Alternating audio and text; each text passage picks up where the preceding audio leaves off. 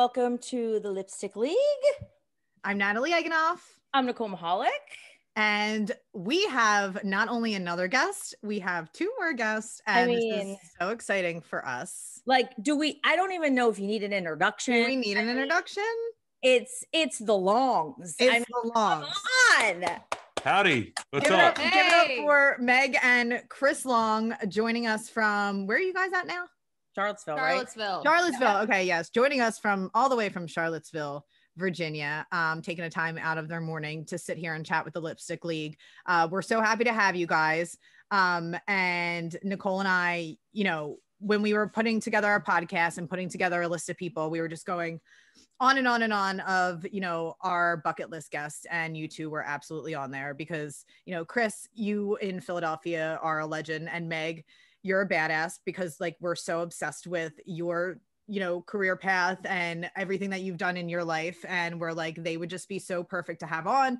And getting you two together is just kind of in, amazing for us It's So- our first podcast together. It is. Yes. I've been Oh trying my to get her on my podcast and she wouldn't come on it like at all. what? Okay, She so must, she must really respect your y'all's podcast. So I, we got to give a shout out to your brother. oh yeah Matt. Oh, Matt. So Yeah. I- The man. we got to take it back. We got to take it back to 2013. And so Matt and I met because we went to the same gym. It was called it was called Fusion, and now it's called Unite, and it sucks now. But alas, we always went to the same class, and that's kind of where we became friends. And so it was, you know, getting ready for the weekend, and we're just like, "Oh, what are you doing this weekend?" He's like, "Oh, well, actually, my sister's getting married," and I was like, "Oh, that's fun." And he's like, "Yeah, it should be a good time." And I was like, "Well, do you like your future brother-in-law?" And he's like, "Yeah, he's cool." He's like, "Well, do you?" He's like, "He plays in the NFL," and I was like, "Oh, that's cool." And and he was like, "Do you know Howie Long?" And I was like, "Yeah, of course, he's a legend." He's like, "Oh, well, it's his son Chris Long. He plays for the Rams." And I was like, "Oh, that's awesome." And I'm like, "You like them?" He's like, "They're actually like really awesome." people." Actually, actually. he was like, "They're they're actually awesome," and I was like, "Oh, okay." And like, didn't think anything of it, right? And I was like, "Have fun at the wedding, like that's cool." So then the fast forward, I'll never forget. I was at my old radio station, and the news came out that you were coming to the Eagles, and I texted Matt, and I was like, "Oh, well, this is cool." Same guy. Yeah. Yeah, Yeah. I was like, huh. You know, I was, you know, because Matt moved to New York, so he left Philly, and so like, you know, we would stay in touch over text. Oh, we were so excited. He, He came was back. one of our first It- calls. And we honestly, like, kind of organically all, all decided to live in the same apartment building. yes, And yes. then on the same oh that's so floor. fun Yeah. And our son Waylon just used to run between the two apartment buildings all season. So yeah, Yeah. it was. it was it, was, so fun and then i was like wait so that's cool. Your sister's moving back to philly. And then literally like everything blew the fuck up. And like yeah. and now like you guys are who you are. And i was like how weird is this? Like and it's weird that i specifically remember that random conversation about him going to your wedding. Right. and it was like and then it just became this thing. And i was like this is like really we just actually just went to El Vez for brunch like two weeks ago. And and i was like and he was telling me about i mean i knew you guys lived in the apartment building he was like yeah they got there and then they moved but he always said it was just like so weird how he came back from new york and you guys came from boston at the same time and he was like a bit he was like the resident like do it all uncle i mean Yep. he really Yeah. was for us and that was huge because you know it was like a crazy time. It was a crazy time from a career standpoint. It was a crazy time for meg you know trying to juggle so many responsibilities with the kids and like even our first son waylon. Yeah. Like, it was just a blessing to have matt in the building. And Yeah. he, he just came down and saw us recently. So um i'm always excited. You know like some people dread when their in-laws come in. I don't. Yeah. Yeah.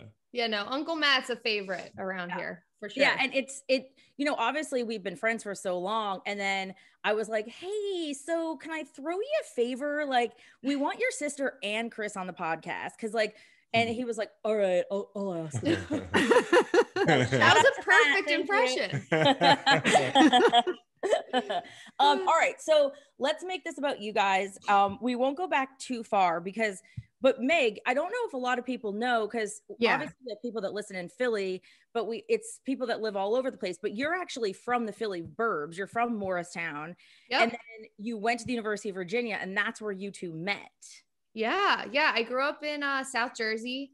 Um, played lacrosse there at Morristown and ended up going to UVA for lacrosse and met this guy. He was actually the first guy I met at UVA. We met in the training room like right before our freshman year. Um, You were like, could you help me with my squats? Yeah.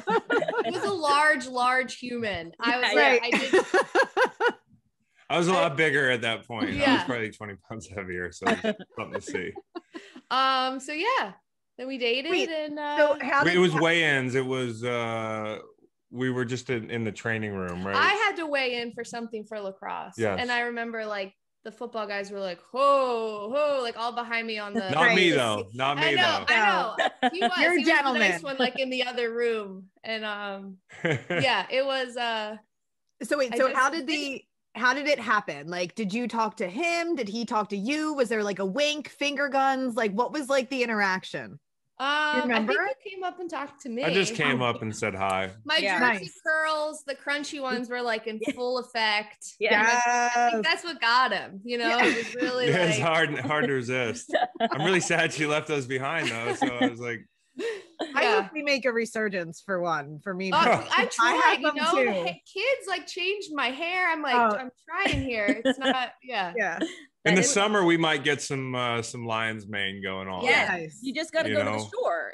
Yeah, Yeah. the- beach hair. Beach Yeah, hair. when you're in Ocean City, it, it's Uh-huh. auto- like it's like they kn- it's like the hair knows like I'm back in Jersey. I know? feel like we're in the training room again. Yeah, I got Yes. twinkle in my eye. Okay, so Yeah. Chris, obviously, this is one of the questions that I love to ask when we get to talk to athletes. Is obviously your dad is your dad. Yeah. One, did you ever feel the pressure to follow in his footsteps? And two, when did you realize that you were elite? When did you realize, like, oh, I'm actually also going to be in the NFL? Yeah, I never felt the pressure to follow in his footsteps because him and my mom kind of reinforced like that I could do whatever I wanted. They always tell a story when I was like 10 and I wanted to come out for football. There was an internal debate in the bedroom as I was sleeping. Um, and as there were so many. And uh, it came down to, hey, do we let him play or do we not? Well, we don't want him to play. So what do we do? We let him go out and play because if he goes out and play, he's they thought I was a wimp and they thought I would come home and like get my nose bloodied and cry. Wow. And I was a wimp, but and I wasn't very good, but I really loved it. Yeah. Um, and uh, really, it wasn't until high school probably I started getting offers, and I was like, oh, I'm pretty good. Um, I never felt like I had to play though, because my parents were so cool about you can do whatever you want to do, just do Yeah. it with pride. And um, I think the pressure kicks in once you do realize, okay, I'm in for it. I'm going to play 10, 11 years in the league if I'm lucky. There's nobody that's there to guarantee you're not going to embarrass yourself. I mean, it's really the scariest thing in the world is like getting drafted in the NFL um, it's an opportunity, but it's also a real challenge. And so probably draft day when you're like, oh shit, I just got drafted fucking second, yeah. and people are gonna be looking at me through a, a, a you know a, a microscope. But the the worst part about it is I'm not like any other kid. Everybody's gonna be comparing me to my dad, who's a Hall of Famer. right Right. right So, you know, I've always felt the pressure to live up to him. Now, what I do with that pressure is my choice. You know, I don't, I, I don't, I don't beat myself up when I don't, because Lord knows you could have a great career and you're not gonna have a gold jacket. That's what my pop said. Right. So I'm at peace with being my dad's kid, and uh, it's actually helped me get where I am today. You know, it turns you into a motivated person. You know, you read the press clippings, you read people saying you're only there because of your dad. Right. So you kind of use that as a motivation, like not the haters, but the people that were like, can he do it?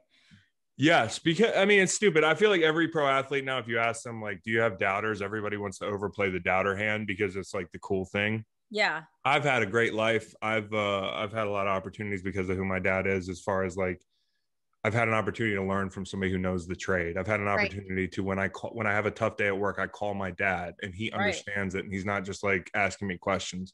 Um, that's all well and good, and obviously the genetics of the bare minimum being able to play in a league, but um, I do think the pressure can suck sometimes, and it does make you, it does make you kind of, it hardens you up a little bit to deal Yeah. with the criticisms that other people might str- struggle with. Because when I got to league, I was used to when I committed to Virginia, oh, it's only because of his dad. When I got a scholarship offer, you know, when I got drafted, etc. Even when I got a big deal after you know a great year, it's always going to be that way. Right. Yeah. So, okay. So you guys were dating in college. And Meg, at what point were you like, oh, like we're going into the NFL. Like, did that ever like freak you out? Because let's talk, I mean, you played lacrosse all through I- college. yeah, You I- are a badass athlete. Yeah. And how did that how how were you thinking during that time through that whole process? Um, might sound very naive, but I really wasn't. I really wasn't thinking about what was next for us, um, and where and how. Um, interestingly, when he was at the draft, we were preparing for, I think, round two of the NCAA's Was it you? wow. against Right. UNC. We were in the film room, and my coaches paused the film, and we turned on live. We turned the draft on live, so we got to see Chris drafted at number two, Aw. and we were all cheering in the locker room.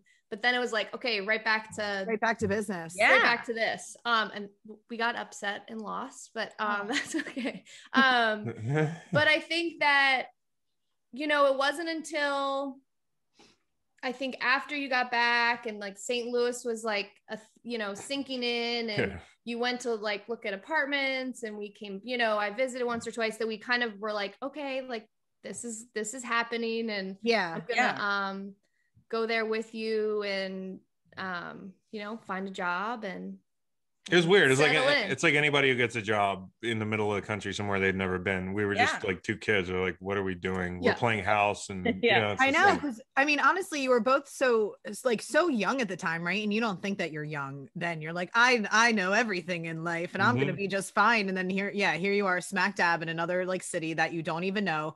Um, what was what was that transition like? I guess for you guys together, like you know, and you, Meg, just being there through all Yeah. of it, kind of, and It- you know, and you as an athlete yourself, like, do you think that that gave you an advantage and kind of like really understanding um the dynamics and you know what he would be going through?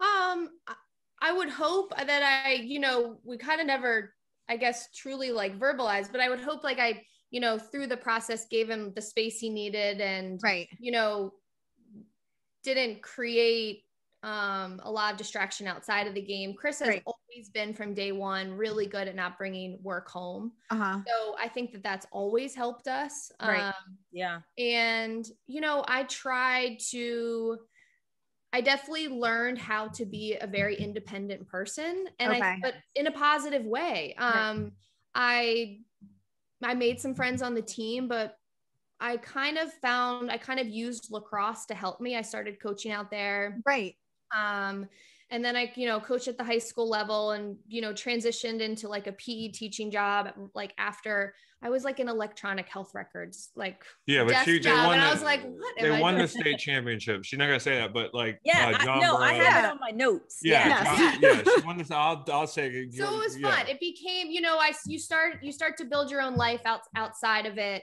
and i think that that really helps us as a couple too that you're not so dependent upon right. a person in kind of the middle of nowhere where you have to make friends. I mean i remember you know a couple friends i had would say hey i know somebody somebody's friend who lives out there. You guys should connect and blah blah blah. And we'd i'd literally be emailing these girls like to meet at this bar and like i'll be wearing like a red sweater i'm like Yeah. this is i'm blind dating That's awkward to adult meet stuff. friends Yeah. It is- Right. it's, it's awkward stuff when you're kind Because- of in a brand new place but because we were like we were on teams right and like i continued to be on a team so i was lucky like and i Yeah. also you know i was cognizant of the fact that you know she moved out to st louis and she's not on a team for the first time in her life and now she's got to meet like random friends i know that's Right. not like what she's into like emailing people and being like Right. let's meet at the bar like Yeah. it's a weird that's a it's Like- a jarring it's process like, I love you, man. Miami or somewhere desirable for my friends to to fly and visit me. Yeah. it probably would have been a lot easier, but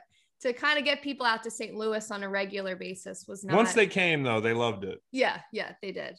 So yeah, talk about the state championship. So did you help you helped started the lacrosse program at the school, right? No, it was in existence. Okay. Um, and when I started coaching, um, I was coaching with a guy named Peter Tasker, who ended up being the athletic director there. Um, we won the state championship our first year together coaching, and then he took the athletic director job, and I took over as head coach, and then we won two after that. Um, amazing. so we kind of started the, you know, the the reign there at John Burroughs, and then on the side there was no club opportunities for girls out Yeah. in St. Louis. And I really do, I think at that time, and still is, lacrosse has so many opportunities at the collegiate level because there's so many programs sprouting Yeah. all over. Yeah. So, you know, I started a club program, sixth through 12th grade, to try to help these girls get some looks at college, whether it was D3 or whatever it was. So we would, you know, travel to the East Coast and play in some of the big tournaments. Um, and that was really fulfilling and really fun and felt like I made a difference in the lacrosse community there a Yeah. little bit. So- so just in that like intermediate like sixth to eighth grade level that you were working with with these girls like what do you think i guess look at you know in comparison to boys sports in in where like in the town where you were like what do you think the barriers were to them getting to like that next level of success? Do you think it was just like investment in you know the sport or do you think it was just like people not really understanding that there were opportunities for women um, yeah, I think the idea, the lac- the sport of lacrosse itself was just it's just not very big in the Midwest. Chicago was at that time. Northwestern, as the university, was phenomenal. They're the ones that beat me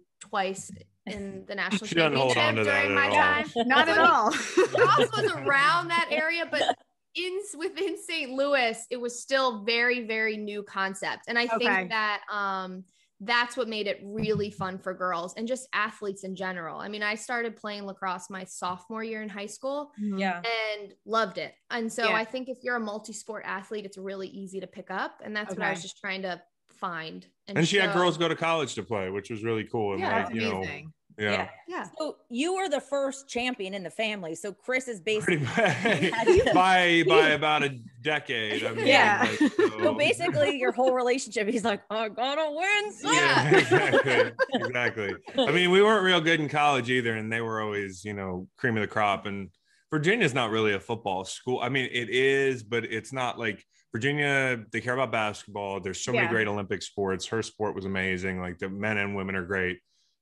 So yeah, there was always like a hey Meg, you win a lot. Uh, I'd love to win too. But wait, to- really quick, back to back to your brother Matt. When Schitt's Creek was live at, they did like a whole a whole um, live tour. He volunteered at the Met to go on stage, and he won the Schitt's Creek Q and A. Yeah, I remember that. Uh, Just just just champions just run in your family. Everybody's just charisma. That's funny. yeah. Yeah. I love it. Okay, so you're in St. Louis, and then Chris, were you just like I see like was it about winning that wanted that decided to go to the Patriots?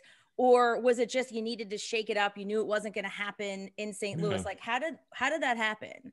it was all about winning. I mean, at the juncture I had arrived at after year eight, you know, like had a great run in St. Louis. Um, but within two years in the NFL, you you know, I went from captain to cut, and like Yeah. that's just the way it is in the NFL. If you have Yeah. injuries, they don't they don't you know it's a production business, and I never blamed them. But like the last my eighth year, um, we were living in a hotel, nice hotel. I'm not like again making this Yeah. some like sob story, but I knew I was getting cut, you know, by halfway through the year, and I knew the team was was moving, and we had made a really special bond with the fans there. Um, you know, like I know I have a really cool bond with the Philly fans, but St. Louis is kind of like they they took care of me, and they and they um we were bad, and I had an individual success, and some of my teammates had individual success, like James Laurinaitis or Robert Quinn or Steven Jackson, obviously, but they showed up every Sunday, you know, to one in 15 seasons, two in 14 seasons. You know, the Eagles, the Eagles fans, like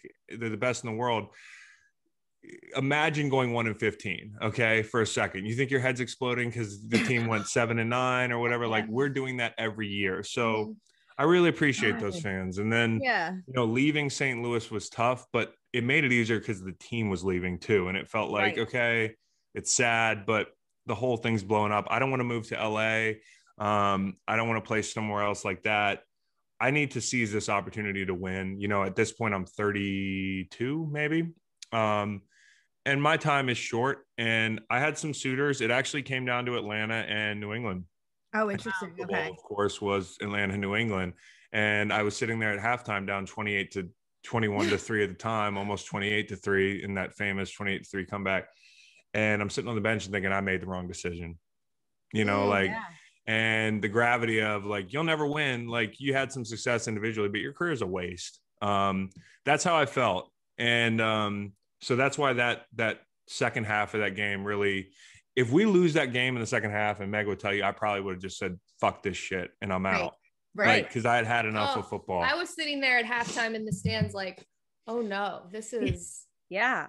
Because she knew gonna I, be- the rest of my life I'd probably Yeah. be a very different person. This is going to be a grudge he holds for a really, or like Th- a, like a not a grudge, a just Like a chip on your shoulder. oh, Yeah. Yeah. things stick things tough. stick it's Yeah. hard to get over things man it's hard Oh, to get yeah. over you know the feelings that you harbor from your career and i had a wonderful career where i was very lucky especially towards the back end um saw most of what you'd want to see but i still have regrets and there's still feelings i have a hard time getting over about my career um and a lot of them are circumstantial and just like bad luck but i can only imagine if you don't win that super bowl or then subsequently end up in philly like it's a god it was like literally a god sent for me and i can only imagine being on the other end of that being down up 28-3 and losing that super bowl Yeah. Mm-hmm. Let me go back to when you knew you were getting cut. Is that, does that weigh on you? Or are you like, this is a good thing because I'm going to get another opportunity? Or are you like, fuck these guys. I gave them my life. I can't believe they're doing this. it definitely wasn't the last thing you know like as an athlete you're hardwired to always at the very least think you can compete with the best and Right, like right. think you are i've never been one that's like hardwired to think i'm the best because like that's like god level arrogance that some of the best athletes in the world have i i don't have that um Right. but I'll compete with the best and I'll scrap with the best. And it was hard for me because my eighth year, I had lost my job. I broke my tibia a couple games back after I had an ankle surgery the year before. And I was out there just getting my feet back under me.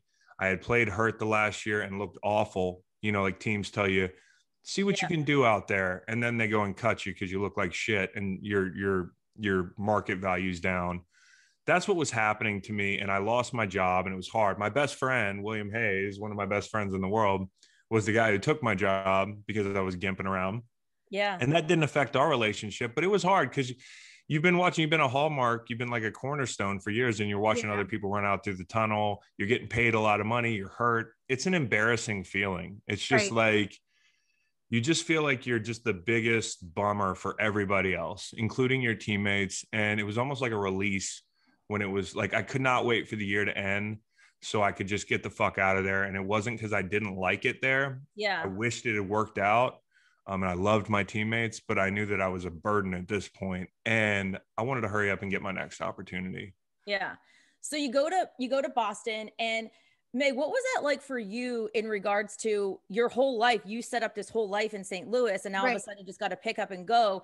Did you at this point know that it was just part of the deal? Like this is what I signed up for. It's a short amount of time. Like, or were you like, ugh, like this kind of stinks? Well, and also I was wondering, did you guys have children yet at this point? So You had- right, right around when Chris was was released from the Rams is when Waylon was born. So that Yeah. was like So 20 our first and our oldest. okay, Yeah. wait, and that was what like 20 2016. 2016 is when he Okay. was born. Yep, 15 so- was a, yeah. And it was on She was pregnant in the um in the hotel, and we were yeah. yeah, yeah. We like we like packed up. We were yeah, we were ready. Yeah. But um no, it wasn't I it was eight long years there and Yeah. Okay. you know, Chris had a great career there, super loyal. You know, like he said, we loved St. Louis, but it Yeah. just felt like it was time to go. Yeah. Um, and I didn't think New England was going to be a long stop. Yeah. Um, but I also had a tiny baby, and so Right. that Yeah. was my time anyway. So um, I definitely wasn't looking around like, oh, what am I going to do in Foxborough, where it's like a Dunkin' Donuts and, and Gillette Stadium. It's I- cold. it's Yeah. cold. and the it's sun so goes cold. down early. I mean, I really just me and Waylon, we hung out. It was a lot, pe- it was a lot. pe- it was a peaceful time It though. really like you look back, like not for for me as much, and I know you had to grind at home with Waylon, but like you know, we'll always I think look back at that time, even though Foxborough wasn't like a happening place to live, or maybe it wasn't the perfect you know situation, but it was just us in a Yeah. quiet little No- apartment, no outside and distraction. you know, Yeah, it like we got to That's spend a lot of quality time with that little that little nugget. And Yeah. so And yeah, I knew why he was there was to was to Literally. win the big one. And I Right. it was so total. that's all you hope for. You just, you know, as you keep going and going it was a business trip Now- to try to get a ring. it was super different and awesome to go to games and just like win, win, win compared Mhm. to Yeah. St. Louis. I mean, that Right. felt that was awesome to Yeah. that. Um, and then yeah, like you said, when you go to the Super Bowl, you're like, oh my gosh, this is actually happening for him. Yeah. So it was And then so then you win. Okay, so you're pl- let's talk about that game really quick, the the 28-3. So you're on the the the Patriots Atlanta game. So you're on defense. So Mhm. you know, my dad always says, which shout out to St. Louis because my dad's a crazy St. Louis Cardinal fan because Oh wow, okay. my pop-up's name was Stanley, so th- Stan Musial. Damn So- usual. So, there's like a small little part of me that, that And the I- man. Yeah. So my dad's like crazy St. Louis. Um, Yeah. but the so you're you're in that moment, and my dad always says, um, offense sells tickets, but defense wins games. He Yeah. coached basketball. Like my dad's the guy that watches E ESPN Classic and yells at the TV. Like, Dad, it's from 1988. Like you already know the outcome. Um, so in that Super Bowl game, you're it's at halftime, and you know basically like the defense is the reason that won that game. Right. What what is that? Explain to somebody who's never played football before, even on a team who's listening, what is it like mentally and then physically to make that happen? Well, listen, it was one of those things where I'll say that we we we stepped up big in the second half, um, defensively, because I think we allowed a touchdown and that was it. But the first half we couldn't stop anything. So, Right. You know, like and the offense sucked too. And that includes like the goat. And he would tell you Yeah. it was the worst half. Like it was like it was purgatory. It was just like everything that could go wrong was going wrong. And um we couldn't get out of it. And that half was a blessing. Like the fact that we were allowed to go back into the locker room and just take a break from that ass kicking Yeah. because and a lot of people think there's some fiery speech or that, you know, like it's in the movie and Bill's giving a big speech and Tom's giving a big speech. And then he rips off his sleeves. Yeah, Yeah. yeah. he Bill walks into the locker Exactly. like, All right, You know, guys, the we're gi- gonna do you know, it. GIF or GIF, however you prefer it, of him walking out of the lion's tunnel, uh, not shaking anybody's hand. Like Yeah. he literally, when shit hits the fan, I feel like Bill knows well enough to project composure. Interesting. And I think some coaches like, and as much as Bill Belichick might yell, and as much he might have wanted to yell at that juncture, what good is that going to do at that point? right, right. What we need to do is make plays and do the little things. And I think resetting allowed us to take a break. You know, you had some people like, we're going to win this game. And I always tell this story. I think it was Duron Harmon, God bless him, was like, we're going to win this game. And I was sitting there in my chair, like, how about we just All get right. a stop, dude, or score a point? Um, and here was the problem. And this is very interesting. I tell people this all the time. You have the backdrop of like our experience in St. Louis, the type of football we watched and participated in when you get to New England, I don't care if I was there for a year. I have not retrained my my positive thinking. You know, Right. like yeah. so I'm in the locker room thinking we lost, dude. And there's a difference. Like that's not giving up. Giving up is not playing hard. I played my ass off in the second half, but you can play your ass off. Case in point, eight years in St. Louis and have no expectation of winning. That's how a lot of guys took the field in the second half. Like, let's finish Mhm. like let's let's give it a shot and then as it built and as the running back for atlanta yeah. mi- missed a blitz protection Dont'a Hightower runs in untouched and just blows up matt ryan the ball hits the deck in plus territory and we're rolling and like that's the moment where i think people looked around and said oh we can win this game Right. and then we get to overtime and and we win the toss and defense we just took our helmets off and sat there because we knew we're not going back out there Right. He was just gonna go out there and do his thing and and- yeah, and that and that was gonna be it. What so you know, in that play, in that moment, do you think and because Nicole and I touch on this all the time, especially when it comes to like team dynamics, because we're we're fascinated with, you know, clearly like the X's and O's is such an important part of it. um, Mhm. but also like you know do you think that there was like you said there's that general sense where you're like okay we can all win this game and then it's everybody kind of just like transitions to like another level of mindset where Yeah. do you think it's like do you almost have like a tunnel vision in that moment where you just where you see the field and you see the ball differently like well that's how it, i imagine it Yeah, i've never yeah. played football but I feel like once you reach that level where you're like, I can do this, and and you know Mhm. things are starting to happen. It I feel like, and you know what's funny, and I I'm rambling now in I was in the locker room. You've been talking for seven seconds, dude. You can No. I've been um I was in the locker room with you guys in you know the 52 the Super Bowl 52 season um and I remember you said sometimes I think yeah it was definitely you you said sometimes the ball just bounces your way he's like and sometimes you can just see the ball see things going your way yeah. so was that I guess was the first instance of you kind of seeing that and realizing like damn we can win the Super Bowl right now and I you do think, so. I do Yeah. think so. And I think belief is something that's so like fans can think about belief and in such a cliche sense. I think that like teams catch the bug and that you can't just decide like, okay, now we're gonna believe. You know, like I, I don't think like you can yell belief into your teammates, which is why right I think execution breeds b- belief. And I think like each player focusing in, and I don't give a shit if you think you can win the game or if you think you're any good or not. Like, how do you compartmentalize the situation we're in to give maximum effort and to execute? And if everybody starts executing and doing simple shit, then all of a sudden we all believe. And it's like feeding a fire. It's literally like, you know, feeding a fire, feeding a fire. And then before you know it, the thing is like, burning the hairs off your arm and your eyebrows like because you need to get back like that's that's kind of what it turned into and um when we lit that thing up it was just like atlanta you could feel it they teams go into a shell Yeah. because they're like they go from the offensive to the defensive and that's the mindset change and play callers can do that too and i think Right. kyle shanahan tried to stay on the attack in that game but like the last drive they're throwing the ball they're in field goal range Right. they have a couple negative plays they're out of field goal range and that allowed us to drive the ball down score a touchdown go for two and force overtime yeah. Which was one of the plays that I've never been more R- scared of my scared life. yes so Yes. I So thought you're he sitting- got caught offsides on that one third down, and it was a, actually a hold on you that took them out of field yes goal but and I was up there like, no, not just jump offside. and ruin the super bowl Oh, God. I was like, what was going they through would your have me. been She mind? would like divorce first down. Would they would have gotten.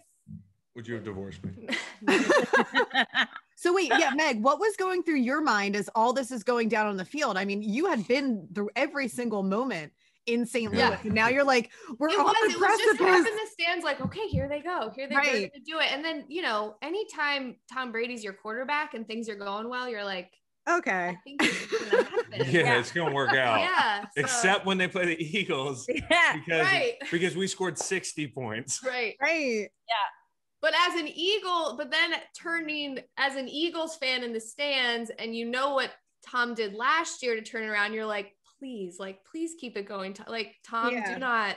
Well, wait, Don't I do it. always talk about, and obviously, people we've talked about the the Eagles Super Bowl in in ad nauseum, but we'll talk a little bit about it. But I, we led me into this is that there's that there's we had a Super Bowl party and it's two minutes left, and people at my party are celebrating, and Tom and they flash to Howie, and Howie's face is like.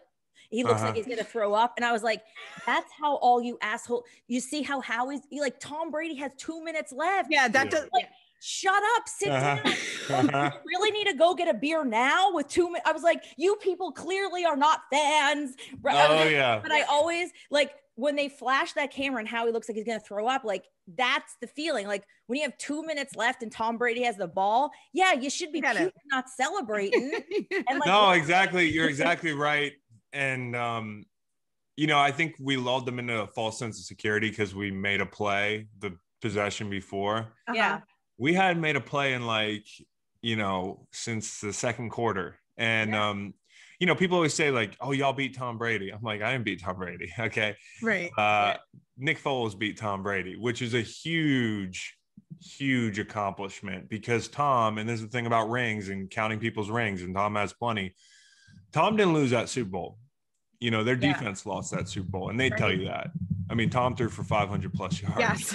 it so happened that nick just went off yeah. The best game of his life just happened to be the Super Bowl against Tom Brady. Like Well, and that's what a beauty yeah, and that's what like it, though. that's awesome. Yeah. like how we were saying, you know, like the energy and just you know the way that things kind of come together. And now, can you compare the two teams? Like, can you Yeah. compare what it was like, you know, the energy level with the Patriots and then the energy level with the Eagles? Like, do you think that it was different um in any sort of way because you have, you know, the Patriots were winning organization, right? And then you have the Eagles, you know, and then you have the city of Philadelphia who are all like on their hands and knees and face planet, like, please, dear God, just let Dang. this happen. You know, like could you do you know like was that also like a factor in what what like what yeah going i always say i make no bones about it my favorite super bowl out of two like in this there's no bad super bowl it's oh, like Oh, no, yeah. argue over Yeah. lebron and michael it's like we've Right. turned into a society that if you put anybody number two you hate them or you're a Right. hater yeah I, like come on we we were a part of a thing in philly that this is the least humble thing i'll ever say we're gods there Yeah. yeah like literally. I, I am not an arrogant person. I am lucky to have the, that status in Philly. There were 53 of us, but we're, we're, we're gods there, dude. Yeah. yeah And so that's a different thing how we arrived at that championship. Right. All the bumps in the road from losing a franchise quarterback to all the injuries to, you know, the the ride like to the fans. It was just different. Now, It's a movie. New England was movie. amazing. Yeah. Okay. yeah New England is a first class organization. right Okay. I respect the hell out of Bill. I had some of the best teammates I've ever had in New England. Like, you know, Philly fans are like, oh, Chris and Lane are tight, like Chris and Fletcher tight, Bo and Chris. I have a guy like that. I have four, five, six, seven guys like that in New England too. Yeah. Um, from Rob Ninkovich, who Meg Mhm. knows FaceTimes at almost midnight, like randomly, um, to Devin McCourty, to Matthew Slater, who just Yeah. joined our board for Water Yeah. Boys and for the Chris Long Foundation, uh, as well as Matthew O'Malley. So we got two Mats on there. Yeah, Yeah. Matt's on the board. yeah. He Um, let us know at brunch. Very Yeah. Big he told you. Yeah, Big yeah. So so here is the problem with that as a sidebar. I ate like four gummies and then Matt like was at the house and I forgot I had to pitch him being on the board. yeah, yeah. and then the most awkward thing was Meg was sitting on the couch and I had to give my big spiel. How awkward was my spiel? It wasn't awkward. Really? Matt was in from the beginning. He- So I didn't have to give him the spiel. Yeah. he, wa- he was It like was and played he- a little hard to get though, but then you know, He was doing the thing like, so when are we gonna have this conversation? Like as if he- I think I was he like, oh, so you want to come? You want to be courted here? Okay, I'm gonna give you the whole pamphlet, and mm, I'm Yeah. stoned as fuck. Mm. he was very cute at brunch. He was like, "Well, looks like I'm officially on foundation board." I was like, "Oh my god!" So I have so many questions about the about the foundation. yeah But let's talk about really quick. So you win the Super Bowl in in New England, and then were, was the was the Eagles like a thought? Like, how did that all happen? And, and Meg, Yeah. obviously, you left. You know, Philly. I call South Jersey Philly because it is. Let's be honest. yeah Was that part of it that you were going to be close to your family again? You have Waylon, or was it just? Uh, that was part of it. I mean, it was part of it. She us, didn't but I- push me there, but that was part No, of it. yeah. I mean, it, w- it would have been very cool. You know, in my head, I'm like, man, I hope he, you know, I hope he picks that. But I also, I, I would have gone to Seattle. I would have gone anywhere for. But I didn't want to take her to Seattle. For him to be happy and successful and doesn't matter. But the fact that it was Philly was was awesome. I mean, and then you have, and then it's that kind of season with family and friends around. It's just so are, are, all crazy how it went down. are all your fa- is all of your family and friends are they all eagles fans Yeah. Oh, Oh, yeah. like I mean, my yeah. I mean, My brother-in-law is a Chiefs fan, yeah. My brother-in-law's a Chiefs oh fan. does he go to that but bar in Kyle, my brother, just signed there, so it's. it's oh good. yeah Yeah, that's. does he go to that bar in south philly what what is the name of it He li- they live in Baltimore right now. oh okay all Okay. yeah, yeah. But um, my parents are Chiefs bar. still in Jersey, and my my brother, and obviously Matt. And Yeah. So um, tons of high school friends still around. So it was it was really It's just cool. it's just like the opposite of moving to a new city where you're like when you're at work you're worried about like is your your your spouse like bored Yeah. you know it's just yeah it sucks like yeah Right. just I, I don't have to plan her day for her like she she she has plenty going on but like also at the same time i'm just like i hope she's happy here that's like that's a big deal because when you drag your family somewhere is a lot of the reason i didn't keep playing like there were teams after philly that were like yo hey come on down and Yeah. it was like gonna be a couple thousand mile move Right. and i just with a young family philly was amazing that way. Yeah. you know like we'd never lived in a city okay? I call like when we live in charlottesville downtown i used to call it we live in the city in charlottesville and meg would laugh at me because it's so small but like we never lived in a city. I love living in the city. I love the fact that meg's parents were there. I love the fact that you know matt Right. was there Yeah. and then also like the way i picked it from a football perspective was um it was just about scheme. We were getting ready for the New England uh, Atlanta game, and I remember the moment I was sitting in the hotel alone in a ballroom, and I was watching uh, Atlanta and Philly because they were on our cut up because Yeah. they had played each other earlier in the year. And I remember watching BG and Fletch and those guys and Vinny and the speed that guys were playing, like the scheme, because in New England, the scheme was less attacking for me. And I was like kind of out of position and that kind of wore on me, um, just mentally and physically. And so Philly was an opportunity to go back to doing what I was doing in St. Louis. Yeah. Right. And you know what? After the the situation I was just in in New England, which was awesome, it was a huge change of pace and it was fun. It was like, okay, if I'm going to finish my career, I'm going to finish it on my terms, have some fun, play. I got a ring now. I'm playing with house money. We were supposed to be like terrible. Yeah. Yeah. So, you know, that's how the Flajole tattoo ended up happening. Do you know about the Flajole tattoo? No. no. I get to see Flage's face. Okay, he's a all the coach. time. He's a, On It's Flajole tattoo. I, I can't show it. I got to get in shape before I show it. I think we're gonna show it on my podcast. I haven't Okay. revealed it in two plus Okay. years, but it's a portrait of one of the coaches for the Eagles. I lost the bet when I was in Philly. The first couple days, I had this linebackers coach who was with me in St. Louis, so I knew him. Uh-huh. Yeah. And we were in an OTA practice in the summer, and I was being a grumpy old man, and I was saying, I was muttering under my breath that we fucking suck. We're not gonna win any games because look at us. like, look at us. We can't even get lined up. Positive. Well, you know, you need that on a team. And um, Somebody has to keep it real. yeah. and Flage is walking by and he's like, What'd you say, Chris? And I was like, You heard me, Flage. We fucking suck. and he's like, Oh, yeah, you sure about that? I was like, uh, I was like, Yeah, Flage, if we win, if we win the Super Bowl, I'll get a tattoo of your face on my body. Stop. And he, and he called a couple it. guys over and he goes, All right, I'm gonna hold you to that. And I was like, I don't give it. We're not gonna win a Super Right. Bowl. um, Wait, lo and can you tell behold, us he where reminded it is? Huh? Where where is Where it? is it? It's like right on his rib cage. It like really, it just. so then so then so then in 2018 we're at a joint practice in camp and um and you guys could google ken Flajole handsome old man not a lot of hair uh and uh she, he walks up to meg and they've met in st louis but they don't talk often and what did he say to you or what did you say to him He said something like, "Hey Meg, I'm Coach blah blah." blah." I was like, you I probably know, I know exactly who you are. I see you all the she said i wake up next to you every morning You haunt me in my dreams. yes, yes. But no, we didn't think we were gonna win. That was it. Right. Like, like Yeah. I would have Oh never God. said stuff like, and it's okay. Like, it's okay to not think you're on like a Yeah. contending team. You know, Yeah. there's 32 teams. Four of them are really, truly contenders. You don't know who they're gonna be, but Yeah. I didn't think we fell in that category. So, Well, what it- part of that season did you feel like, oh, like, because my theory is, and I listened to your podcast with with um, Malcolm Jenkins, which was so good, and I, and like obviously we I could talk to you for three hours because I want to talk about the foundation. I and one of the The main Charlotte, yeah.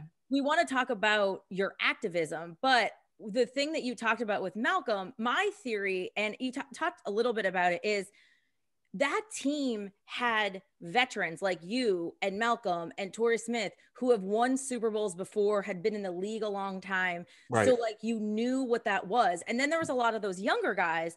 Do you feel like that matters? That, like, you helped, you obviously have the coaches, but I, that that leadership and just being good humans right yeah.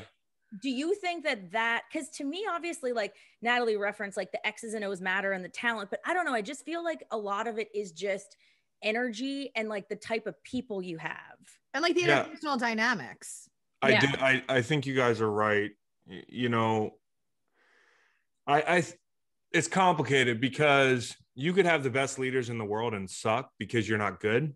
Yeah. Um, competence unlocks leadership on a team. And so in St. Louis, me and James Laurinaitis, you know, all this leadership that people love me for later in my career, like I'm this big, like, you know, whisperer. I come in a locker room and I'm like, this is how you win. I don't know how to win. you're the Okay. championship whisperer Oh, you know, like same thing with Yeah. LeGarrette, LeGarrette Blount, you know, like winning two in a row. Like people Yeah. are like, what's the secret?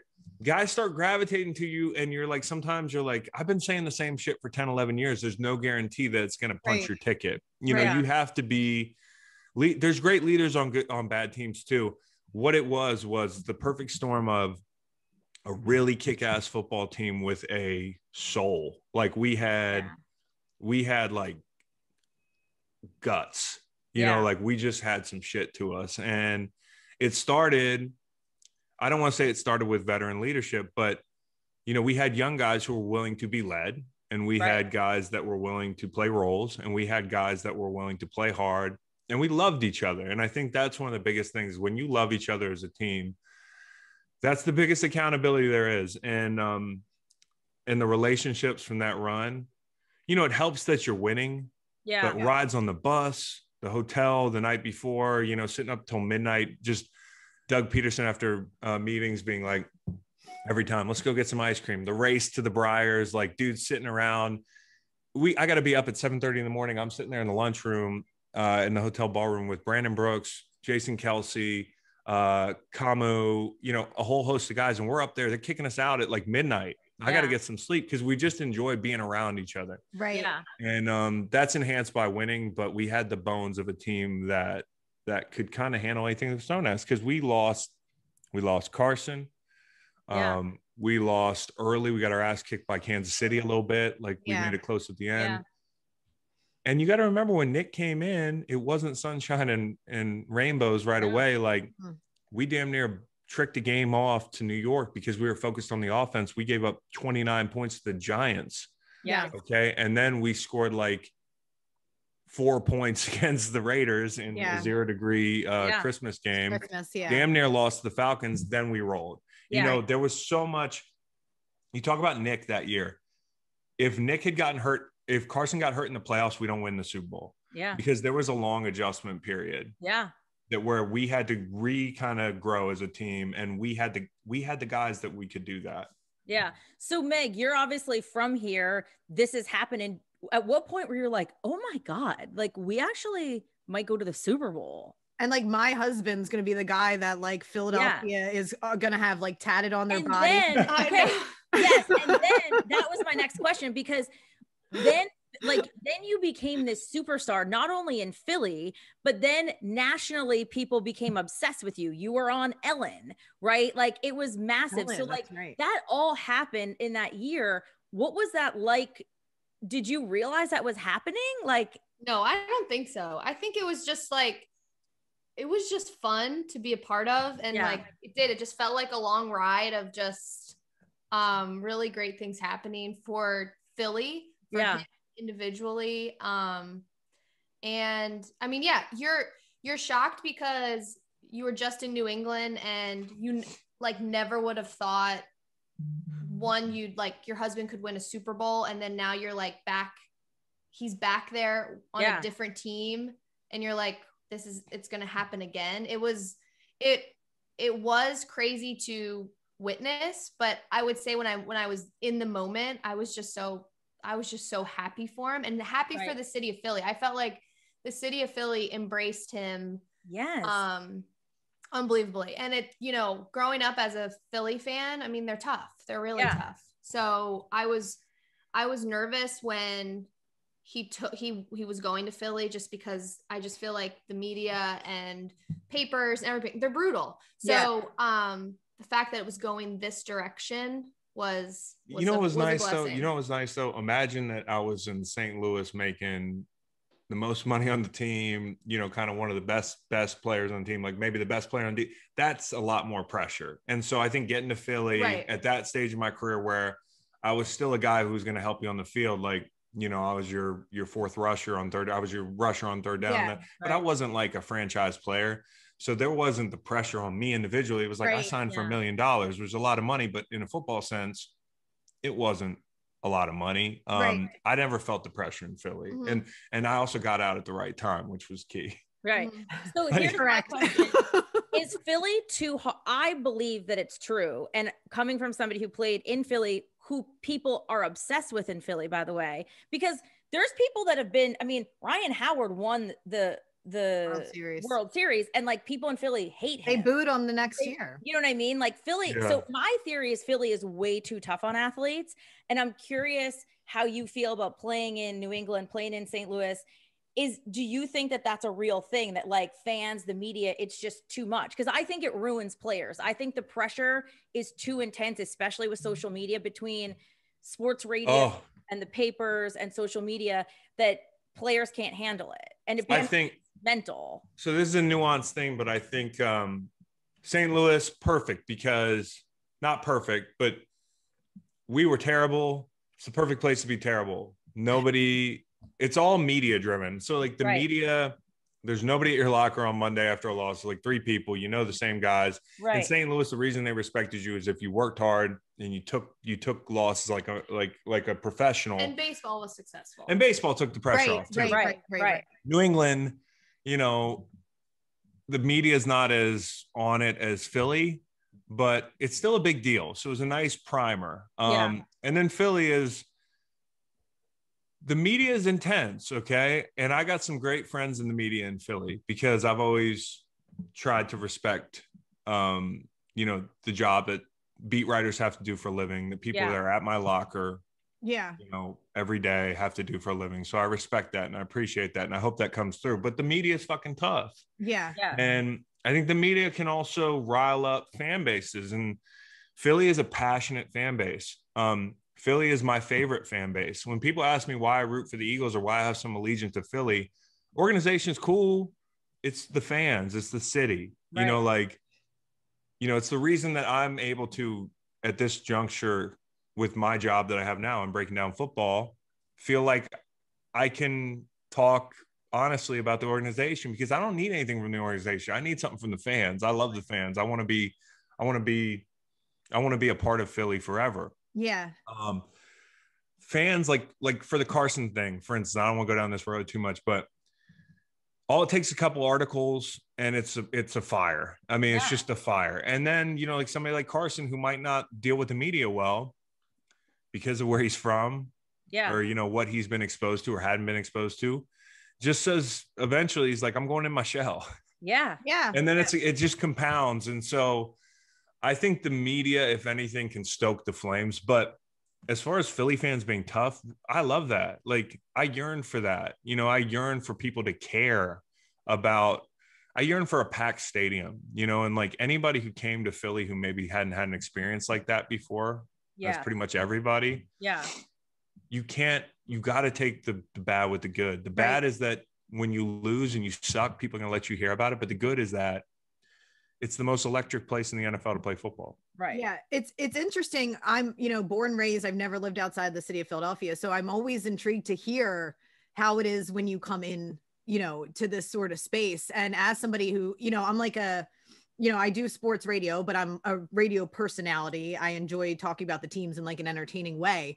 But as a part of it, I, uh, you know, historically have agreed that it's kind of like there can be a balance, right? When it comes to the approach on how you're going to talk about the teams, because yeah you, growing up here my entire life perpetually it's just been this like we have to you know rain you know brimstone and fire on these teams when i'm like i like growing up i just remember being like i don't know if that's the most effective way you know to kind of like to kind of like light a fire under people's ass or like try and motivate people and it's and it's interesting and i'm glad that you're saying that because i think that there's like a new generation here now that's that's trying to change it you know me nicole you know people like yeah that. you guys there's Right. well there's no there's no santa claus incident anymore No, everybody no, brings up the you santa know, claus but- incident it's it's funny that you say that and i do think that that's why it's it's just so fascinating to me and i and i know nothing else right like yeah like i'm like that's the way that it is but here like the rest of the world is like no it's not actually like that so it's every fan base has a personality Right, every city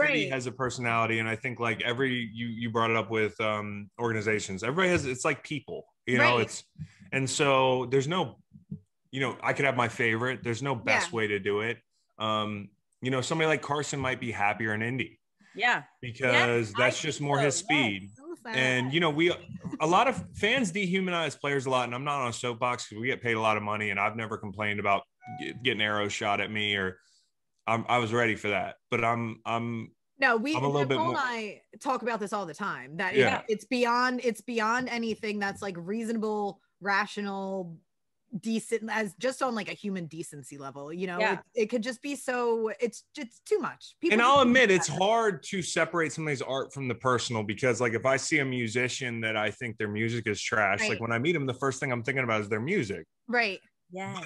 But Yeah. that's Oh, not that's who they good way to are. That's not Right. who they are. Yeah. Although music and on, on art is more personal to you, right like it's not who I what I how I was as a football player. It's influenced by who I am, but it's not who I am. And you know, I think it's unfair that certain guys have to never live things down, or that guys like when you meet a guy that that you know, God rest his soul, uh, Bill Buckner in Boston Yeah. yeah is the most famous one. The rest of his life, and he passed away recently. He was an amazing baseball player, but only remembered for that. Yeah. When he walks into a room, everybody thinks about that error. Yeah. yeah. And that's human nature and that's the unfortunate thing and i don't know what the fix is but what you can do is try to be decent to each other. And i think like just remember that you can dog somebody for poor play but when you start to make it personal like off the field personal you Yeah. suck. And, and like people will do that at times and you know every nfl fan base has an ugly side and like there's people that take shit too seriously. Like the Yeah. other day, Geo, shout out to Geo, um, Giovanni, who's got a great podcast, my Yes. little buddy. Yeah. Some people online were really like mad at him, like really mad at him because he had a Carson Wentz jersey on. Do you remember when you were a kid and you had a fucking favorite player? Mhm. Like the kid's a kid, not to mention all he's dealing with. And he has a pretty cool podcast and he's an awesome social media presence, but he just locked his replies because people don't know when to stop. And Yeah. I'm not saying everybody, and I'm not saying it's just, I'm saying like fan bases in general. Football fans can be really toxic, yeah. a minority of them. And I think we just have to think about the people um, and being decent to each other. It sounds lame and corny, No. but it's like simple. Yeah. but and, and it's just again i feel like you know i don't want to we don't want to keep you for much longer because we do have to talk about the organization and all the incredible work that you guys are doing. Um but it is it's just about like being better to each other and hopefully now that we've gone through what we've gone through in the last four plus years it's like we're coming out on this other side now and i think that you know using a voice like yours chris with your podcast and you know me and nicole sitting here trying to advocate it's just like it's it's the voices that are sending the messaging have to you know we have to call for it right and it's Yeah. like yeah and it's it's not even like it's not like you're asking or we're asking for you know people to like empty their pockets or do anything it's just like think about before you send that tweet or think about before you want to just be cruel because you're like miserable in your own life i feel like these are simple things that are going to make a difference but When I've been mean to people, I Yeah. was miserable. Like I had Exactly. something that I was going on. And so, Yes. you know, like, and I've been an asshole online. I've also cussed people out. Like Oh, I'm a yeah. am a rattlesnake a little Yeah. bit. Like, but I also am not a bully. I try not to be a bully. I mean, I try not to be a bully. And I just feel like sometimes fans don't even realize it, which is it's gonna sound stupid to say, but like collectively people can bully a player. Yeah, and it i just i don't feel bad for millionaire athletes but i also i also think that like we just forget about the people. That's Yeah, all. because every player i know has a life at home. They have children. They have they have you know wives. They have parents who are watching and they don't want to fuck up Right. well they're not trying to fuck up if a guy's bad at a sport he's not trying to be bad Yes. and also, yes. it's not like being bad at like something basic that everybody's doing. You're on the field with the best in the world, yes. in the world, in the galaxy. There's no Yeah. other football seriously, Yes. seriously. Yes. I say that all the time. Right. As far So- as we know, Meg makes a good point. That's it, that's true. Who knows what's happening in Mars? You know, what I I'm mean? I'm Maybe- hyped for the um the Mars football team. Like I'm ready to go. I'm like Yeah. send Oh, it yeah, up it's gonna be there. good. Let's do so, it. Okay, so let's Yes. be serious for a second because you have are quite an ally, activist, very outspoken. When did that? Obviously, the Chris Long Foundation, and now you're doing this whole thing with with Water Girls. But let's just talk about you being a white dude. And when did you realize that like you wanted to use your voice to start to help educate people because it's rare and you are one of the the the lead athletes Yeah. in all of sports. Yeah. You and my other dream podcast guest, JJ Redick, Oh, JJ's good dude. we're gonna get him on eventually. Um, but I just respect that so much. And you've and you've done it for so long. I mean, obviously in Philly it started. You had the Chris Long Foundation. You ran, you did the, you won the Walter Payton Award, which like, oh my God, congratulations! And just everything that you've been doing, like, was that were you a was that something that you had as you were a little kid? Did it become when you became in the NFL? Like, talk a little bit about how you wanted to become such a voice. I never really wanted to be a voice, honestly. It was like it just kind of happened because I can't keep my mouth shut. Mostly, that's like literally how it happens. Yeah. Um, and But it wait, turns what's into your, this. what are your signs? Oh, When's yeah. We're I both was wondering what their signs Both were. Aries. Oh my God! Wait, when are your before. birthdays? March 26th, March 28th. Oh my! oh my god. Aries- So I'm a Leo, and Aries is a fire sign, and so many of my best friends and my mom are all Aries. And Aries is a great sign because you're you're loving, but you get shit done. Yeah. Yeah, well, see, we're a that's, little hard headed. that's how we would describe each other. Yes, I love that. Wow, what a power couple! Two Aries. I know Two that's Aries, man. fascinating. Natalie's a Libra, which is good because she's what the- does Libras? What do Libras do, Natalie? So we're like, um, we like to be balanced, and we're actually like peacemakers, diplomats. Um, we You kind of use that in this like every once in a while. come hang like, out. Yeah. like so uh, ram heads. yeah, Yeah. Well, actually, Aries is my polar opposite. Yeah. technically in the zodiac, but I get along with Aries so well because honestly, like you could put me in any situation and I'll be like, this is wonderful. Let's all have a Right. good time. Yeah, Yeah, I'm like, you know, you- everyone. You know, the way our horoscopes work, Aries work really well together. Uh, they, they- Yeah. Our horoscope says that Aries, they're, they're, they're, you should get Yeah. married to an Aries, Yeah, um, yeah. Especially if you're like two days apart. Yeah. Uh, the, the other thing, Well, year yeah, less than two days. I'm a little bit younger. the Yeah. problem is, and Meg will tell you this because we can't, we can't like. Number one, I don't like bullshit. I uh, also don't like. I have a hard time keeping my mouth shut, which some I don't like. The latter, but it would be this vicious cycle. I would speak out on something, and then people would come back to me because I'm the only person talking about it. So people would come back. I'd say something, Yeah. people come back, and at this point, I'm like, Right. Fuck, man. Like I, like I, I there's got to be another white guy in here who's willing to say that there's racism somewhere. Yeah. Like, I mean, when you put your arm around, um, it was Malcolm. Malcolm, That, that moment, I, I just for me as some like watching that happen, I still get the chills thinking about it, and I was just like, finally, like finally, somebody standing up. Finally, somebody on the team, especially my God, in the NFL, like to take that stand. Just, I feel like it sent, it sent the message, like it just sent it to the next level, and it was like okay like we're not doing this anymore you know? Yeah. like so for you to just have the the bravery to just be that person like it just it sent it it sent it to another level. And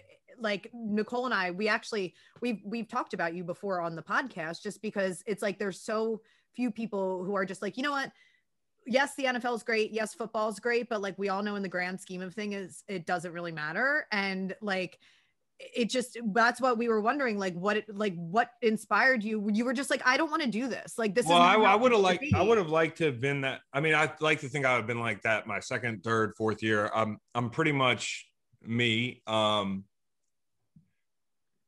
but it was just kind of that time, you know, Malcolm was out there doing that on an island, and yeah we had been talking. Actually, the first conversation I ever had with Malcolm was in 2016 in the summer, where when Colin Kaepernick was demonstrating, um, we had a big group text, the guys that, you know, were kind of like minded and how guys were going to, you know, take the ball and run with it. right Malcolm had been doing a lot of work for a long time. So I've always respected Malcolm's off the field work. And I continue to respect Malcolm's off the field work. He's really, you know, you can say what you want about Mount, you know, Mount gets things done. And um Yeah. and so we never had a conversation like a like a like we weren't like tight before that, which was really interesting to me. Like I just res- here's the thing. I what's wrong is wrong and what's what's right is right. And so Yeah. um I felt pressured because of Charlottesville. Not pressured, but I just felt like it was the right thing to do with everything that happened a couple days earlier. I can remember sitting in my my truck on the way home from um, practice the day uh, everything happened in August here, and um, Heather Heyer and all that stuff, and you know all those um, Tiki Yeah. Torch. Yeah. Uh, douchebags yeah. I had another. Yeah. Um, I'll say I had it. Another word, yeah. all those t- all those guys playing militia and playing tiki playing with tiki torches you know like descended on charlottesville and that Yeah. that was that felt personal but like it wasn't about like me or anybody that lives in charlottesville because if you are a minority in this country that threat is very real every day. Like that that's a real thing that exists every day. And because i thought about it for a couple days and it was right in my face doesn't mean that like it was about me. It was just one of those things that i'm from charlottesville. This just happened. I just sat in my truck the other night for 20 minutes. I was the maddest i've been in a long time listening to trump. Yeah. Both sides of the thing and just kind of missed because Yeah. everybody in our country was waiting for somebody to make a play and do something positive and who Yeah. could do that somebody who's supposed to be a leader but obviously he was never a leader Right. Right. um, and he was much worse. Uh, I never, I was never comfortable with. I take it as a compliment being called an ally or an activist. I was never comfortable with the word activist because I don't think of myself that highly in the space. What I think of myself is somebody who just tries to tell the truth. Yeah. And um, there are real activists out there that Malcolm would tell you, like we work together with those people who are grassroots people, Yeah. whether it's you know bail reform or you know you know other areas in criminal justice reform Right. or you know um, voter rights. Those there's people that dedicate their whole lives that we're the mouthpiece people. Yeah. And so, not, don't for a second. I hope nobody ever thinks that I presume I know more than the experts or that I am on some high ground morally. It's just something had to be said from somebody that looked like me, and that was it. I mean, but I've also talked about this stuff for a long time mm-hmm. because, you know, when we were in St. Louis and and Mike Brown was killed, that Yeah. was right there, oh and Yeah, so oh, yeah. like, I can remember in Twitter in the dawn of Twitter, like when you could say what the fuck you wanted. Yeah. Trayvon Martin happened. And I can remember we were tweeting about that. Like, but it wasn't a thing that NFL people were talking about or that fans were evaluating NFL people talking about. So, like, Yeah. Kaepernick changed all that, really. Kap, Yeah. Kap allowed guys who had interest in the space to have that that visibility. Yeah. And while there's guys like Malcolm who have been putting in the sweat equity for almost a decade, probably um, at this point, Kap gave the platform to like, okay, we're looking at the anthem now. Yeah. Yeah. And so um, I wouldn't have demonstrated with Malk had I not known that he follows it up with action. Yeah. Um, and yeah, I also wish that people would think it wasn't a big deal because I, I would love to get to a place where that's not a big fucking deal. I just Yeah. felt kind of almost ashamed that me putting my arm on Malcolm was such a big deal. And I felt kind of uncomfortable with the praise. And I still do. but Yeah. it's but you know it's something that I- and this is how i like look at things and how i look at how things have you know transpired over the last four five six years it's something that like when you look back at moments and everything that this country has gone through uh recently like whether or not you wanted the praise for it it and the simplicity of it is why it was so powerful you know and it's not like it's just kind of that's going to be one of those images when you look back in history that you're like i remember when that happened and just because of the symbolism behind it right like and it's I not Remember, I remember too because it was nerve wracking because I was sitting there and I was like, "Holy shit, am I really about to do this?" I was like, "I just know the minute I put my hand on his shoulder, nobody. It, it was dead quiet, right? Yeah. It was just the anthem, and it was a quiet anthem. But I just remember thinking like, "Oh God!" And I know everybody saw it, and nobody was saying anything because it's quiet. And I'm like, "How many people are looking at me?" And I kind of forgot about it because it was a preseason game. I go back in my locker, and my phone's just like blowing up, and I'm like okay, you know when you do something, you're like, I want to do the right thing, but I don't want it to be too popular. yes Yeah, yes yeah. I think that that's so hard. I mean, I, I feel the same way. I mean, it, when you said that I can't keep my mouth shut, that's me, right? Like I've always been a mm. loud mouth my whole life. And I just feel like you got to do what's right. And like, if people need you to use your voice, then use your voice, help Yeah. people, you know, Yeah. why do you want, why do you not want to have everybody feel good? So, so in, in a moment like that, the fact that you're right, like it shouldn't have been a big deal. It should have been like, I'm standing in solidarity with somebody who I not only respect, but I, I see what he goes through. And I want other people to realize that I hear you and see you and I'm listening to you and the fact that it may it was this big thing I get it like I get so frustrated too where it's like and it's really interesting too cuz because of social uh, social media really fast but like you have my parents and I'm very very blessed I mean I'm from near the Poconos grew up in Summit Hill PA there's no um, traffic lights I, you know, went to Catholic school my whole life, but my whole family is very liberal and I'm very blessed with that. But like my mom is like all these people she's been friends with for 50 years, she hates them now because of Facebook. She's like, they're yeah. awful. Yeah.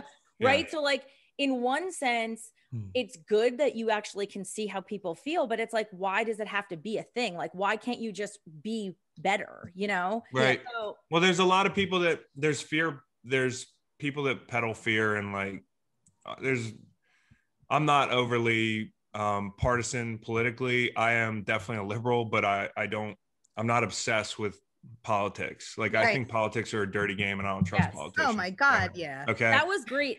People, just really quick, you got to listen to Chris and Malcolm's podcast. Thank you. He had Malcolm on, but you yeah. guys talked about that a lot. yeah, about, like the political side of activism and how a lot of times politics makes it harder.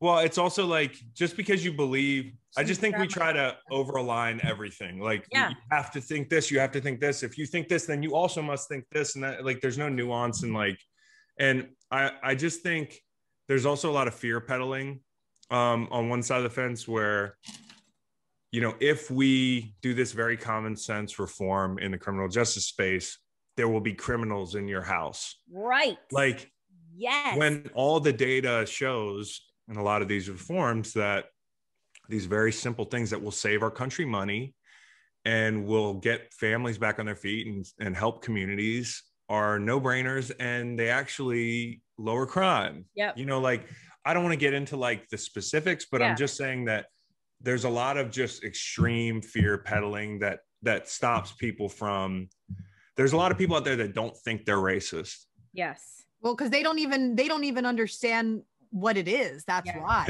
well, they yeah. don't understand what the problem is. Yeah. And so how to your point, Natalie, how do you if you don't understand what the problem is or you're not realistic about the problem, then you might sit there and think, I'm not racist. I'm getting on Facebook and I'm posting this thing and I'm not a racist. Yeah. Right. But everybody else is like, dude, like you're doing the racism thing. Yeah. Yeah. You're doing the thing. So it, it's just, and social media is the worst place to have these conversations. It's very true. Very the worst place.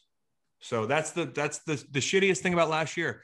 This was the biggest crossroads to date in our country when it comes to like in the last 20 years making a change. We had yeah. a great opportunity, and I think people seized it, and hopefully we keep keep keep going, keep going with it. But we had to do it all online. That yeah. sucks. Sucks. Yeah. Sucks. Harold Melvin and the Blue Notes. My do song. what now? Harold Melvin and the Blue Notes. You know what's that? Song? Yeah, Blue Notes. Blue Notes. Yeah, the Harold Melvin and the Blue the Blue Notes. The world won't get much better. That's, That's so true. That's the song. I just know the Meek Mill song "Blue Notes." Oh, oh okay. oh no, you got to listen to Harold Melvin and the Blue Notes. Okay, yeah, cool, cool. It's old they're a Philly. They're a Philly. Um, they're Motown band. Yeah, that must like, be why he called it Blue Notes, or maybe yeah. I'm wrong. Oh yeah, um, probably. So let's Wait, talk about boys. really quick because I know before we get... have kept you so long. I know, but we're good. The kids are good. The kids are with grandma. Good. So. Okay. Good. All right. She's having fun. I don't care. Yay! So when you started, and Meg, obviously this is such as as you did you always know that this was going to be a part of it were you ever like when you saw people attacking him on the socials were you ever like or were you just like yeah let's go because i mean my goal is to be like be like oh my god it's so hot that you like are you know are helping people who need it um i've always been and i don't want to say proud because like he's saying it's just completely natural for him to speak up and speak out and he's um I just always been a part of him. So I didn't I didn't think any I didn't think much of it other than um you're doing a great job. You know that yeah, you know yeah. um I I'm behind you and I think that Chris has always, you know, from the beginning of Twitter, you know, enjoys a little back and forth. So yeah. Um, I was never worried about him. He's Um, like Natalie. He can They're always just- handle himself. They're good at Twitter. I'm terrible at Twitter. I'm always like, well, your mom's ugly. Like I'm just Uh, hey, but you gotta have that. You gotta So- have that in the arsenal. I do Cute, throw like Natalie, Chris, like Torrey Smith's another one. Like they're just swap. Like they're Oh, smooth It's on just Twitter. so calm, but Yeah. they, I mean, they'll they'll get you. I I hate like Twitter. I can't wait to get off. Me I, too. if- I say that all the time. I'm like, I can't wait to get rid of all my social media and just raise alpacas. But then I'm like, I see like something. alpacas. Alpacas. Wait, alpaca. We're gonna start an alpaca farm. you Maybe are? we stop. Manage the alpaca farm and just live a an I'm agrarian not on life. Twitter, which doesn't Yeah. mean much. I wouldn't No, have, you know. It's it's it's good that you're not, eh, but like at the same time, like I like I get into it, and then like my thumbs like can't stop themselves because then I'm just trying to like outduel these people, and because I'm like you're all just dumb. You like you It's know just what I mean? Like I, it- the whole thing trains you to be confrontational. Everything is confrontation, miscommunication, and Right. like and So and true. think about the act of arguing with people in a room full of people. Why can't you have that argument one on one? right. And I've done it so many times, and like I'm ashamed of myself in a lot of junctures over the last like eight, ten years, being like, "You look like an idiot. Yeah. I know. What are you doing?" But and sometimes so- you can't help it, and then you're just like, I you should not say that, and here's why you shouldn't say that. or even like you you could sit this one out another thing we've done now and i'm talking Yeah. about even people that i agree with like on on issues we've made it so every fucking person has to weigh in on every issue and if you don't if you don't weigh in on this issue i'm looking at you and like maybe that person's not an expert and is afraid to speak in front of potentially millions of people because at Right. any point you can get retweeted Yeah. or you know taken out of context and so you know even for a verified account that sucks Yeah. Yes. That's so true. That's so true. So let's talk about the Chris Long Foundation. Obviously, Water Boys, you're doing this whole new initiative called Water for Her. You you did you set up the how when did the Chris Long Foundation you started that in St. Louis, right? Yeah, we started way back in the day. Um, it was like six years into my career, and um, we had always done a lot of work off the field. Like we've always supported Boys and Girls Club, and Yeah. we did a It lot of one-off. something both of you wanted to do, right? Yeah, yeah, yeah. Yeah. but I think it really the idea behind it really came to life after you hiked Kilimanjaro for the first time and met. You know, yeah. yeah. Doug and John. Well, the the thing was, we were doing a lot of stuff under the radar, and honestly, I always felt like weird about being charity guy. I still feel weird about being charity guy. Another thing though, I'm like, I hate the fact that a lot of people think of me as charity guy first and not a good football player. Um, which which drives me a little nuts, especially because like when you're when you're on a bad team for a long time, nobody pays attention. You get there, you're like a role player, and then you're like charity guy. It just kind of fucking sucks. And they're like, "Hey, great career, charity guy. Here's." So even like Walter Payton Man of the Year, as much as it was awesome, I'm just kind of like, okay, I'm charity guy now. Um, we we we used to do a lot of stuff under the radar because I never wanted to be like, you know how some people you're like, okay, I know why you're doing that. You're doing that for the cloud yeah. we're like the opposite of those people and i can say that pretty Yeah. honestly like um but what, what i realized and what we realized six years in was like we're not taking advantage of a great mm-hmm. asset and that's fans and we're not the the, the best vehicle to grow your cause is the people in your jersey and that support Yeah. you and all these people that i'm so appreciative of like we're not engaging them so Right. let's start a foundation we we had to talk about it and when i got back from tanzania and i said like What made you want to do that in the first place? Just Yeah. Because- Hike Well, Kilimanjaro. Yeah. I, She Yeah. was giving me too much shit. I said I had to leave town for three weeks or two And were you weeks. nervous for him to go? He tried to tell me he was going to do Everest one day. I I, wasn't. shut that one I w- down. no, you didn't. time. You Yeah. didn't shut that Oh, one down. please. No, you didn't. You told me. Well, did you tell? It's the Remember most when? dangerous thing you can do. when- Yeah. Well, I just played football for eleven years. Do you remember? do you remember? Um, Aries. when Harry. we were t- Yeah. having a kid for the, for the first time, and you were having, Having a kid, yeah.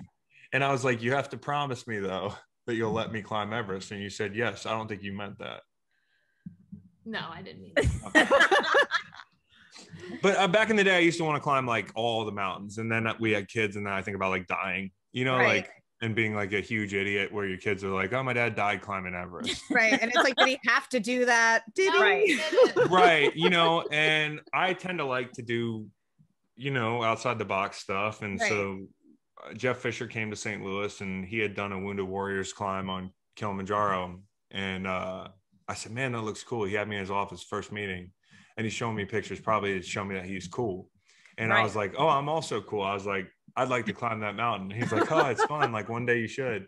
And he had just paid me a bunch of money. Yeah. And I was like, I think I'm gonna do that this off season. He was like, I was like, almost spit his coffee out. But I took a teammate, um, James Hall, who's kind of like my big brother, and uh, begrudgingly, he went with me, and we climbed a twenty thousand foot mountain, and we loved it.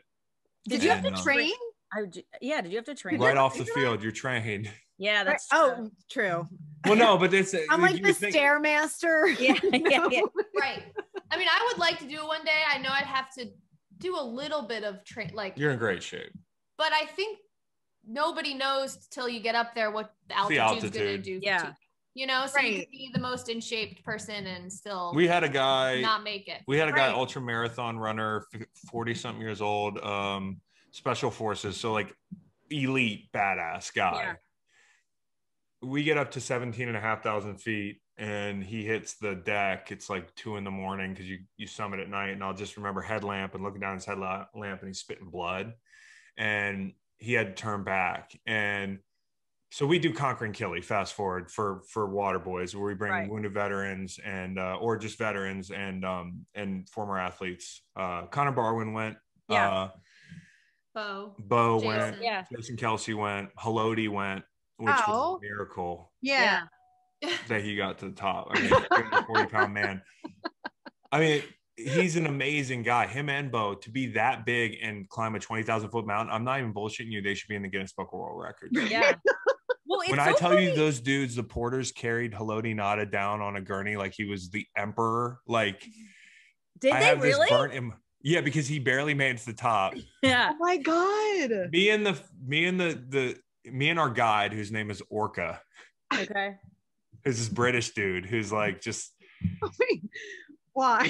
Well, and they go up and down, up and down, right? I mean, that's yeah. It's Yeah. that's what's amazing too. The These- guides. The do, right? porters go up the and down. porters are ju- that's But the lead here is that the guide is has a British accent. His name is Orca. How cool gonna- are you? Yeah. And you climb mountains for a living. Anyway, shout out to Orca. Yeah. We were pushing Haloti up the hill, and then they had to load him in a cart on the way down. Long story short, the thing sucks, uh, but it's the coolest like team building exercise, and I can't wait for you one to day go. women's group. I'm Yes. You know yeah. what?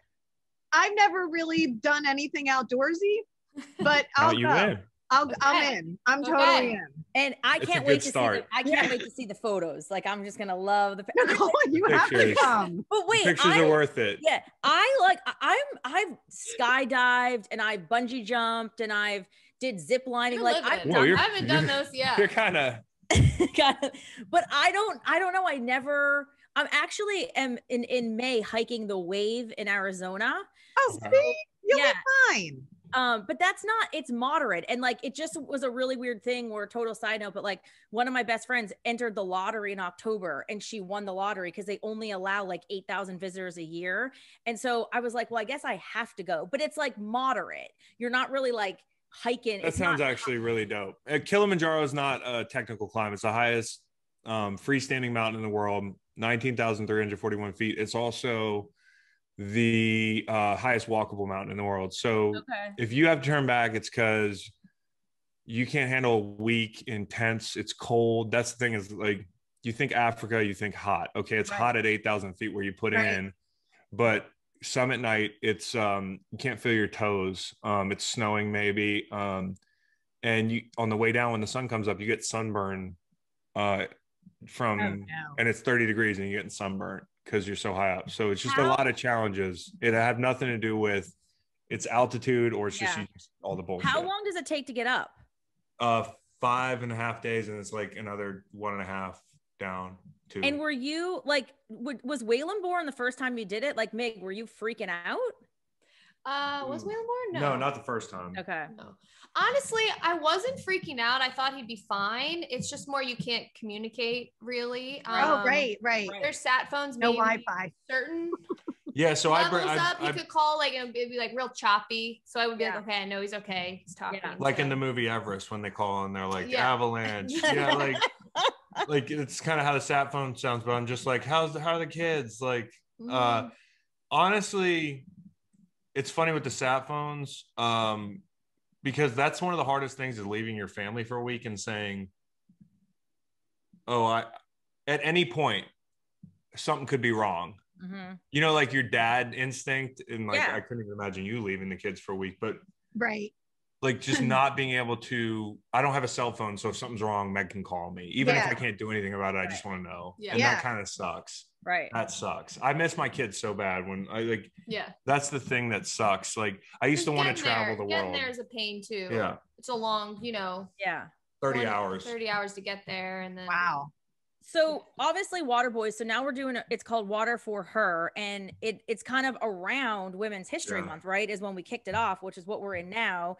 And the goal is to get a hundred thousand women to get a hundred thousand women and girls fresh, clean water in East Africa.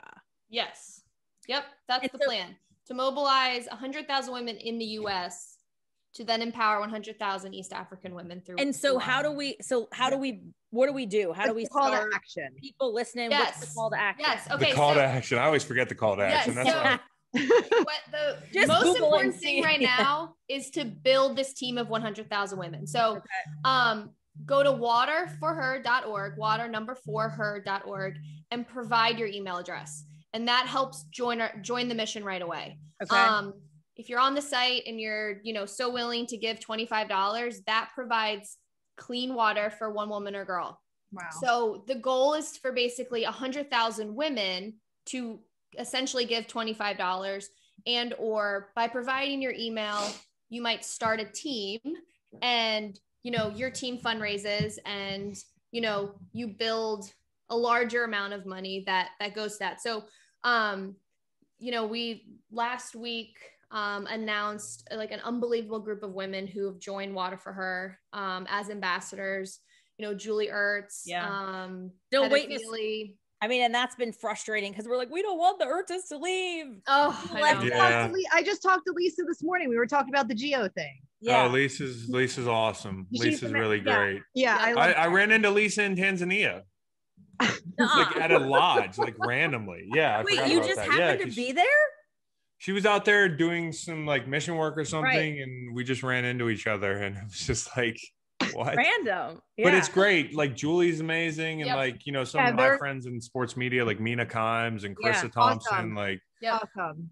it's they, these girls have been crushing it with with uh, Yeah. They, you know, they've created essentially a team and, you know, they're pr- trying to promote their fans and followers to donate to their team and get involved. And, you know, similar sense, any, any one person can start a team and then Yeah. you try to rally your friends, rally your network, your group to kind of, you know, spread it and, and help build this, this team of 100,000 women.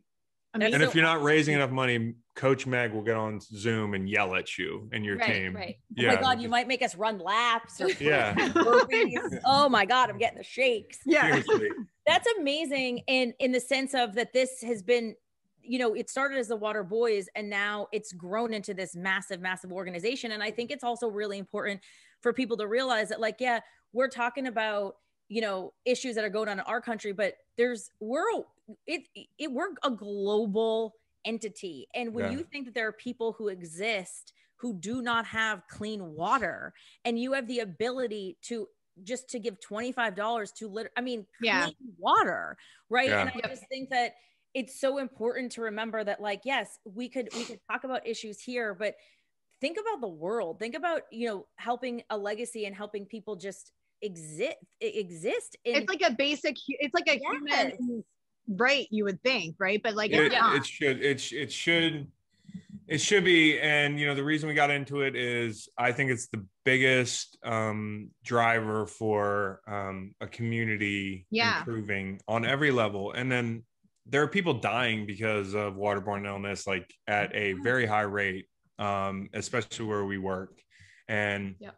one of the biggest heartstring pullers for me is like the kids man like it's so cliche but we'll go to a school and kids will run down a hill like 100 yards and um, a primary school. I remember taking these veterans who have seen some crazy shit.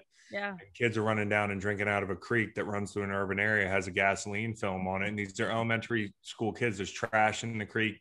Not even a second thought this is what i drink at school. It's hard enough to learn. It's hard enough to be successful and to grow up. Um, we all know that from like our privileged privileged uh, upbringings on Right. different levels but like imagine just like being sick perpetually or in in a, in a fog because you're drinking like and and also it's a women's issue. That's Right. why we. Yeah. That's right. why That's why we we're ended really up. focusing right now Yeah. on the water for because women and girls bear total responsibility for collecting water. So Yeah. girls aren't even in school, you know, and um, Yeah.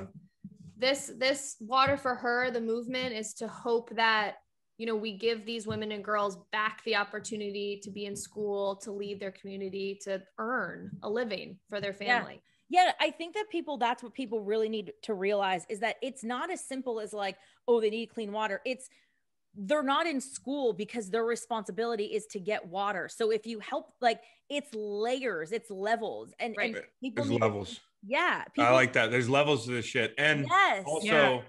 and also, I mean, you talk about women being like MVPs in communities, and that's not even like patronizing or anything. Like, there's data that yeah. that backs that up. That like, if you're giving women opportunities, guess who's going to thrive? Everybody. Yeah. And so, um, you know, you're giving women peace of mind. Like, I'm not chancing it. Um, giving my kids water that I'm not sure is going to kill them, which is a reality. We think about how much we love our kids, and like literally, Meg, I make fun of her because she's like, "Is Waylon's thermostat at 71?"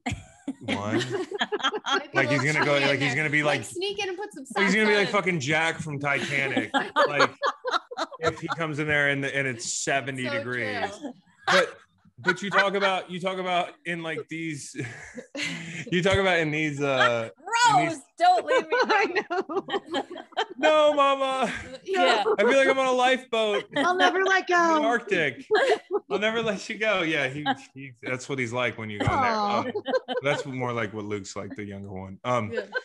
but Waylon can't he doesn't give a shit about it he's like i'm not waking up um Yeah. so women have to i just cannot imagine parents in general you know like hey waylon have a sip of water and i don't know if it's going to give you um you know giardia and diarrhea and that's bad enough here but when you can't treat those things there that kills kids Yeah. diarrhea kills kids so Yeah. They're dehydrated. Well, it's like they just go into dehydration. Yeah. it's dehydration Yeah. and so and so what this is the most excitement i've had honestly about like we're doing a thing that we should have been doing a couple years ago. We just Right.